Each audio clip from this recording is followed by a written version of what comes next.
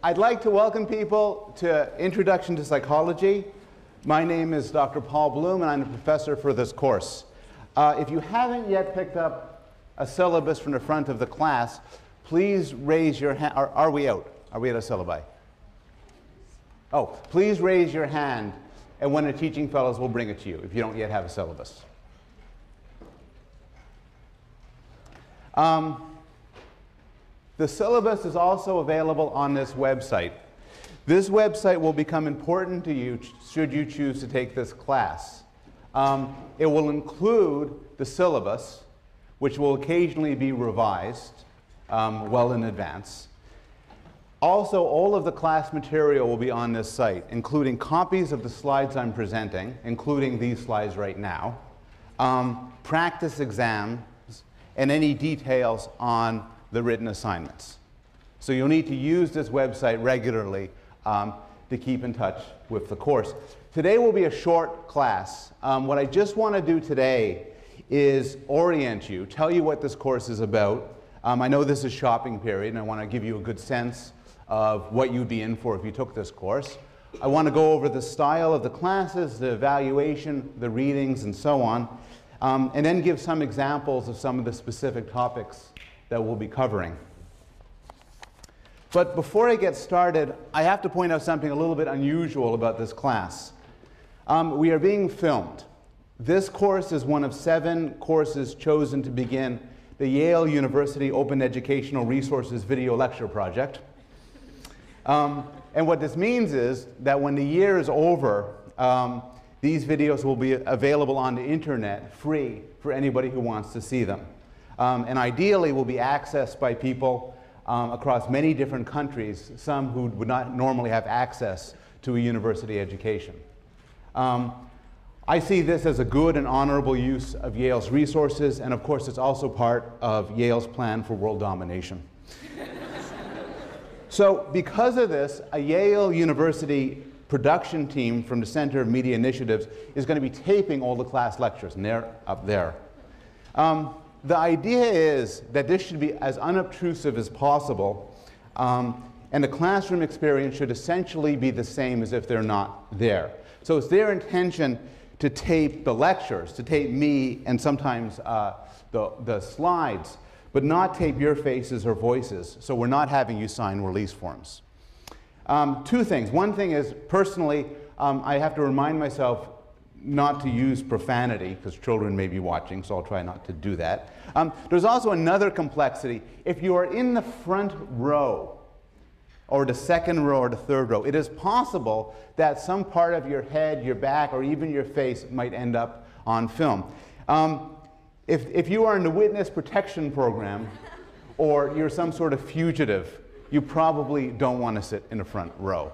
Um, I'll give them, if people want to unobtrusively kind of slide back, that's, that's fine as I'm talking. Okay, we're ready. So I'd like to, to um, welcome people to this course, Introduction to Psychology. My name is Dr. Paul Bloom. I'm professor of this course. Um, and what this is going to be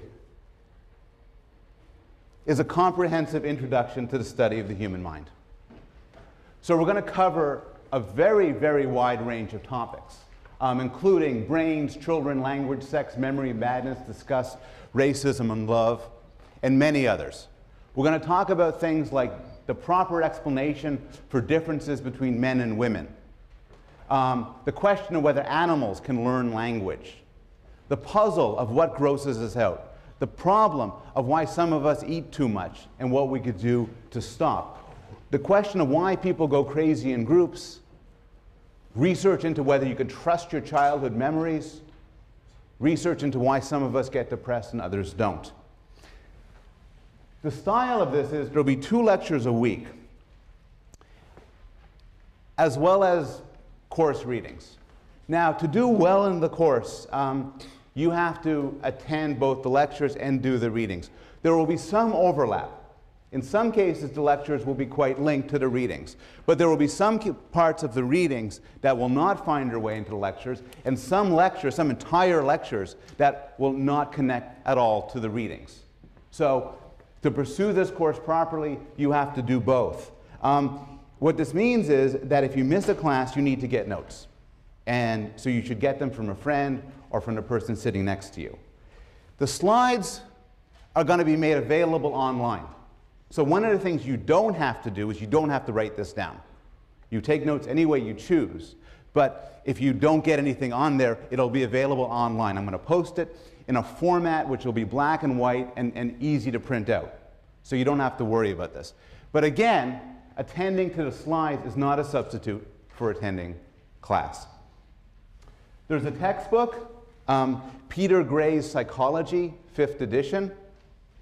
And there's also a collection of short readings, The Norton Reader, edited by Gary Marcus. Um, it's an excellent textbook, it's an excellent collection, and you should get them both. Um, they're available at Labyrinth Bookstore on York Street, or you can get them online. I should note that last time I taught the course, I used the Marcus Reader. And um, when Professor Marvin Chun taught his course last semester, he used Peter Gray's fifth edition textbook. So there may be a lot of used copies floating around. You should feel free to try to get one of those. The evaluation goes like this. There is a midterm and there's a final. The final will not be held in the exam period because I like to take long vacations. It will be held the last day of class. The exams will be, will be multiple choice and short answer, fill in the blank, that sort of thing. Prior to the exams, I will post previous exams online so you have a feeling for how these exams work and so on. There will also be review sessions.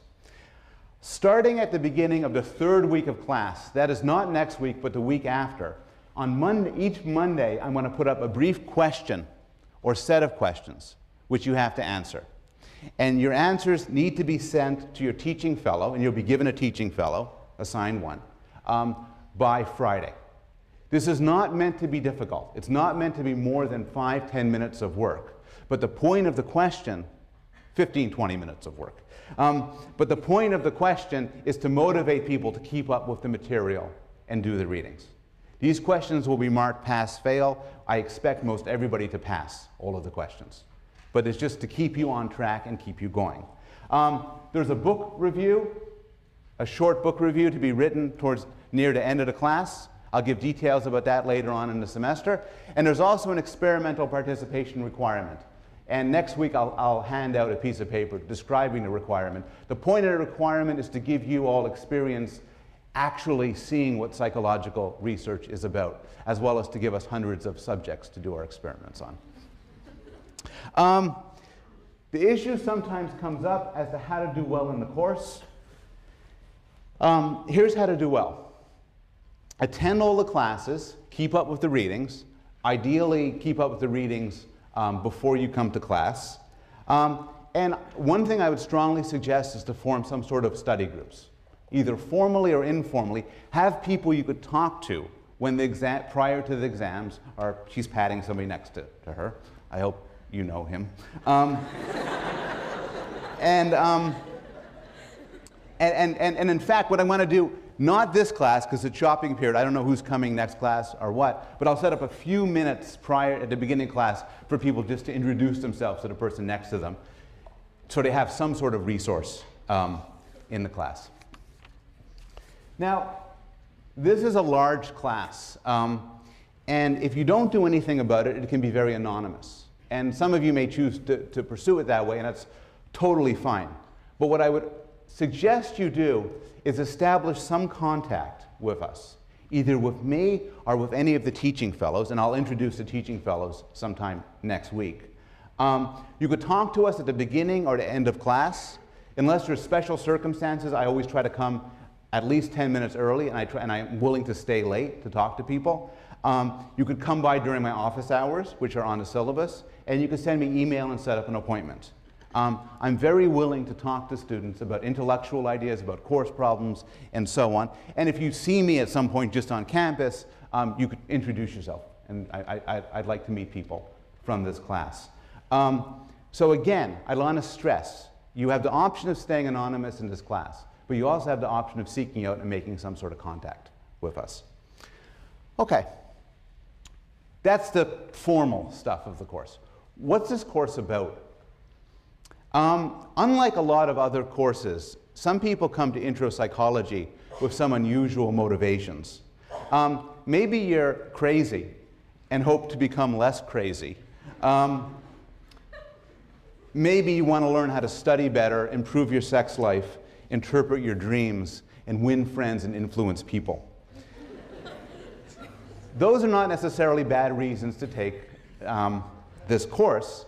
And with the exception of the sex part, um, this course might actually help you out with some of these things. The study of scientific psychology has a lot of insights of real world relevance to real problems that we face in our everyday lives. And I'm going to try, and when these issues come up, I'm going to try to stress them and, and, and make you try to think about the extent to which the laboratory research I'll be talking about can affect your everyday life, how you study, how you interact with people, how you might try to persuade somebody of something else, what sort of therapy works best for you. Um, but the general goals of this course are actually, I think, even more interesting than that. What I want to do is provide a state of the art introduction to the most important topic that there is um, us, how the human mind works, how we think, what makes us what we are. And we'll be approaching this from a range of directions. So traditionally, psychology is often broken up into the following, in, in, into five sub-areas. Neuroscience, which is the study of the, of the mind by looking at the brain. Developmental, which is the area which I focus mostly on, which is trying to learn about how people develop and grow and learn. Cognitive, which is the one term of the five that might be unfamiliar to some of you, but it refers to a sort of computational approach to studying the mind, often viewing the mind on analogy with a computer and looking at how people do things like understand language, recognize objects, play games, and so on. There is social, which is the study of how people act in groups, how people act with other people. And there is clinical, which is maybe the aspect of psychology that people think of immediately when they hear psychology, which is the study of mental health and mental illness. And we'll be covering all of those areas. We'll also be covering a set of related areas. I am convinced that you cannot study the mind solely by looking at, at, the discipline of psychology. The discipline of psychology spills over to issues of how the mind has evolved. Um, economics and game theory are now essential tools for understanding human thought and human behavior. There's issues connecting to philosophy, computer science, anthropology, literature, theology, and many, many other domains. So this course will be wide-ranging in that sense. Um, at this point, I've been speaking in generalities, so I want to close this introductory class by giving five examples of the sorts of topics we'll be covering. And I'll start with the topic that we'll be covering next week on Monday the brain. Um, this is a brain. In fact, it's a specific person's brain. And what's interesting about the brain is that little white mark there. It's her brain. It's Terri Schiavo's brain. You recognize her more from pictures like that. And what a case like this, where somebody um, is, is in a coma, is without consciousness, as a result of damage to the brain, is a stark illustration of the physical nature of mental life, the physical basis for everything that we normally hold dear, like free will, consciousness, morality, and emotions. And that's what we'll begin the course with, talking about how a physical thing can give rise to mental life. We'll talk a lot about children. This is actually a specific child. It's uh, my son Zachary, my younger son, um, dressed up as, as Spider-Man, but it is Halloween. No, it's not Halloween. Oh. no. There's more to say about that. Um, I study child development for a living, and I'm interested in several questions. So, one question is just a question of development. Everybody in this room can speak and understand English. Everybody in this room has some understanding of how the world works, how physical things behave. Everybody in this room has some understanding of other people and how people behave. And the question that, that preoccupies developmental psychologists is how do we come to have this knowledge? And in particular, how much of it is hardwired, built in, innate, and how much of it is a product of culture, of, of, of language, of schooling. And developmental psychologists use many ingenious methods to try to pull these apart and, and try to figure out what, what, as, what's, what's, what are the basic components of human nature. There's also the question of continuity. To what extent is Zachary at that age going to be that way forever? To what extent is your fate sealed? To what extent could, if I were to meet you when you were five years old, I could describe the way you are now? Um, the poet William Wordsworth wrote, The child is father to the man.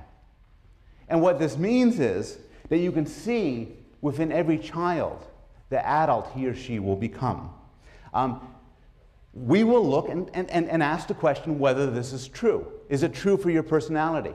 Is it true for your interest? Is it true for your intelligence? Another question having to do with development is what makes us the way we are? We're different in a lot of ways. The people in this room differ according to their taste in food, they differ according to their IQs, whether they're aggressive or shy, whether they're attracted to males, females, both or neither, whether, whether they're good at music, whether they're politically liberal or conservative. Why are we different? What's the explanation for why we're different?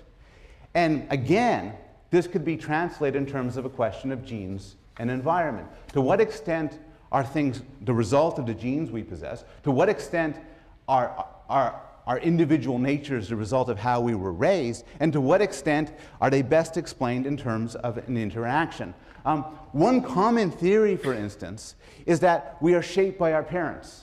Um, this was best summarized most famously by the British poet Philip Larkin, who wrote, They, they mess you up your mom and dad. They may not mean to, but they do. They fill you with the faults they had and add some extra just for you. Is he right? It's very controversial. You, it, it's a, been a, a series of a huge controversy in a popular culture to the extent to which parents matter. And this is an issue which will preoccupy us for much of the course. A different question what makes somebody attractive? And this can be asked at all sorts of levels, but a simple level is what makes for a pretty face? So these are, according to ratings, very attractive faces.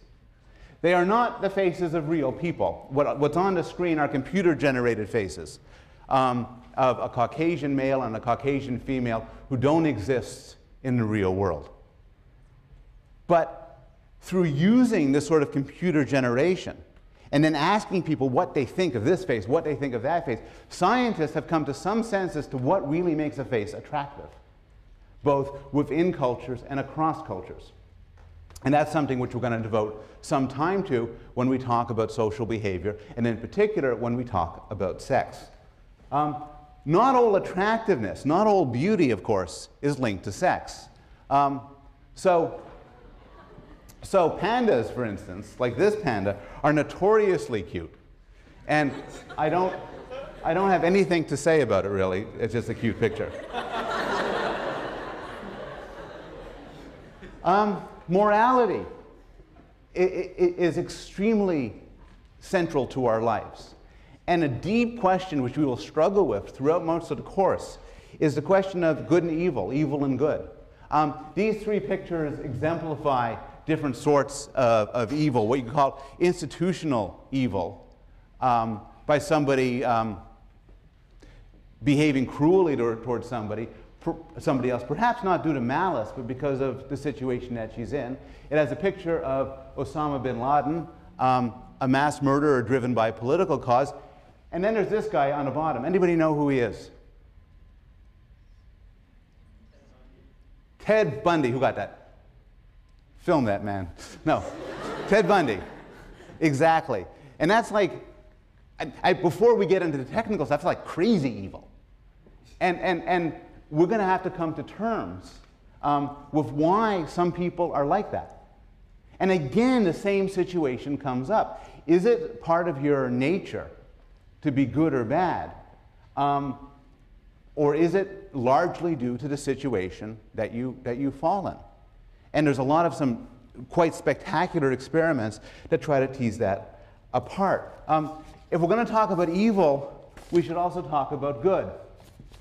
Um, this is, these are pictures of, um, of two notoriously good men, um, Oskar Schindler and Paul Rusesabagina, um, each who at different times in history um, saved the lives of many, many people at great risk to themselves. Um, Schindler in the Holocaust, um, and, and, and then the other guy in, in because um, I can't pronounce his name, Rusesabagina um, in Rwanda. And they both had real good movies made about them. Um, and, and so, but, but, but what's interesting about these cases is you couldn't have predicted ahead of time that they would be heroes. And one personal issue within any of us is what would we do in such situations? Um, finally, throughout this course, we will discuss mental illness. Now, towards the end of the class, I want to devote a full week to discussing major or disorders like depression and anxiety because of their profound social importance. Um, such disorders are reasonably common in college students. Uh, many people in this room are currently suffering from a mood disorder, an anxiety disorder, or both. And I won't ask for a show of hands, but I know a lot of people in this room are on some form of medication for this disorder. Um, and we'll discuss, we'll, we'll discuss the current research in why people get these disorders and what's the best way to make them better. But I also have a weakness for the less common mental disorders that I think tell us something really interesting about mental life. So, when we talk about memory, for instance, we'll talk about disorders in memory, including some disorders that keep you from forming new memories, as well as disorders of amnesia, where you forget the past. And these are extraordinarily interesting for all sorts of reasons. Early in the course, in fact, I think next week, we will discuss, no, later on in the course, in the middle of, middle of the semester, we will discuss the amazing case of Phineas Gage. Phineas Gage was a construction worker about 100 years ago. Um, due to an explosion, a metal pipe went through his head like so. Miraculously, he was not killed. In fact, his friends, it, it went through his head, went, ended up 100 feet away, covered with brains and blood. And Phineas Gage sat down and, oh. And then on the way to the hospital, they stopped by a pub, have some cider. He was not blind, he was not deaf, he was not retarded, but something else happened to him. He lost his sense of right and wrong. He lost his control. He used to be a hard-working family man. After the accident, he lost all of that. He couldn't hold a job. He couldn't stay faithful to his wife. He couldn't speak for five minutes without cursing. He got into fights. He got into brawls. He got drunk. He lost his control. He ended up on a circus sideshow, traveling through the country with the big steel pipe that went through his head. And this is, again, a, an extraordinary example of how the, the brain can give rise to the mind and how things that go wrong with the brain can affect you in, in, in a serious way.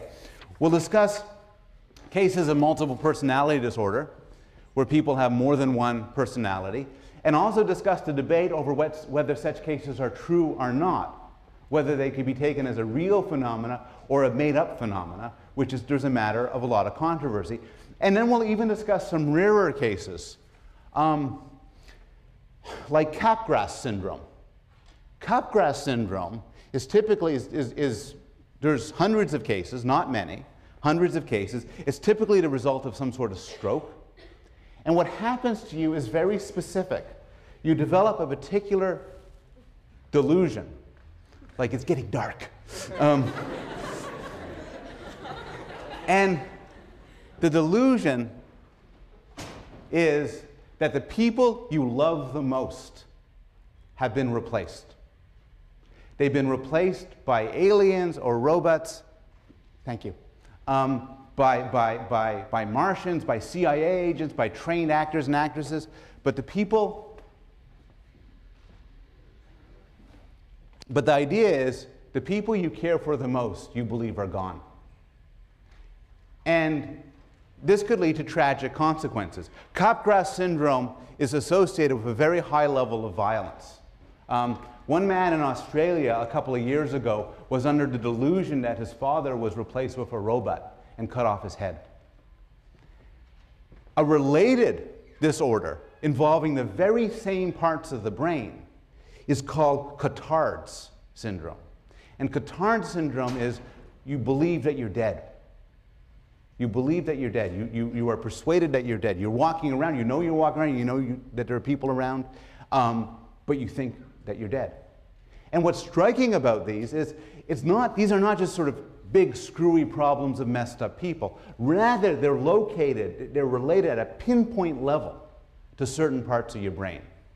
And we're going to talk about the best modern theories as to why these syndromes occur.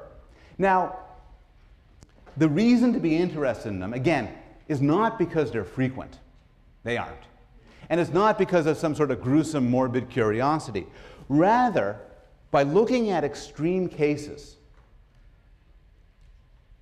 they can help us best understand normal life. Often, by looking at extremes, it throws into sharp contrast things we naturally take for granted. The issue of, of psychopathy of people who either due to brain damage or because they're born that way have no moral understanding can help us cope with questions of free will and responsibility of the relationship or difference between mental illness and evil. Multiple personality cases force us to address the question of what is a self? What, to what extent do, are all of us composed of multiple people? And to what extent are we a single unified person over time? Cases like Capgras are important because they tell us about how we see the world. They tell us, for instance, that there's a difference between recognizing something, in a sense that you could name it, and knowing what it is. And, and, and so by studying these abnormal cases, we can get some insight into regular life. So that's the end of the illustration of, of the example topics. Um, the syllabus lists many more. I'll end by telling you um, that there's a, there's a lot of stuff that we'll be talking about, that I want to talk about, that I am not expert in. And fortunately, um, there is a community at Yale of the best scholars and teachers on the planet. And so it would be a shame for me not to use them to cover some of these issues. And so I'm going to include four guest lecturers. The first one is Dr. Marvin Chun, who is, teaches the Introduction Psychology course um, in the fall and is my competition. Um, and he's going to give an amazing lecture on cognitive neuroscience, especially the cognitive neuroscience of faces. Dr. Susan Nolen-Hoeksema is the world's authority on depression, and in particular on sex differences in depression. And she's going to talk about this towards the end of the course. Kelly Brownell um, is going to talk, is uh, the head of the Rudd Center, um, focuses on obesity, eating disorders, dieting, and he'll talk about the psychology of food. And finally, um, Dr. Peter Salovey, um, Dean of Yale College, is going to come to us on Valentine's Day and tell us everything he knows about the mysteries of love. All of these details are in the syllabus, um, and I'll stick around and answer questions. Hope to see you next week.